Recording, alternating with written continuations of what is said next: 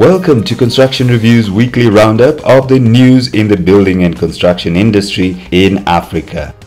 We start our news in Tanzania where the government, led by President John Magufuli, has inaugurated the Mwalimu Nyerere Foundation building built by China Railway Construction Engineering Group at a cost of $150 million. The 30-story building has a total construction area of 63,000 square meters and is home to a five-star hotel with 256 bedrooms and suites, 7,000 square meters of offices, 2,000 square meters of commercial retail areas and supporting facilities such as conference centers and parking lots. The Chinese will manage the project for 20 years under build, operate and transfer arrangement.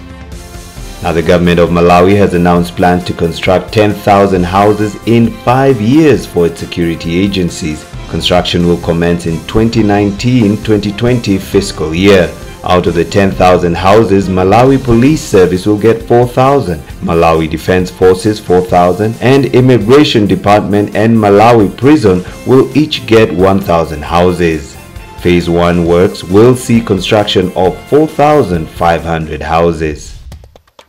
In Uganda, the Nalukolongo sewage treatment plant is set to start operations in the next three years. About six acres of land has already been procured for the project, and in the next two to three years, the plant will be able to drain Rubaga areas of Mutundwe and Kabowa. The plant is one of the long-term sanitation programs for Kampala stretching to 2033.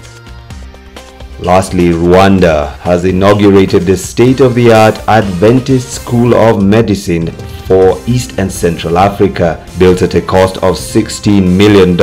President Paul Kagame performed the ceremony and said the facility aims to promote the country's education and health. The newly inaugurated medical school sits on 22 hectares of land. It is designed to become a center of excellence in the region, serving 11 countries including Rwanda, Kenya, Ethiopia, Tanzania, Uganda, Somalia, Eritrea, South Sudan, Democratic Republic of Congo, and Djibouti. The facility features the Adrian Paul Cooper Science Complex, which will host nine laboratories.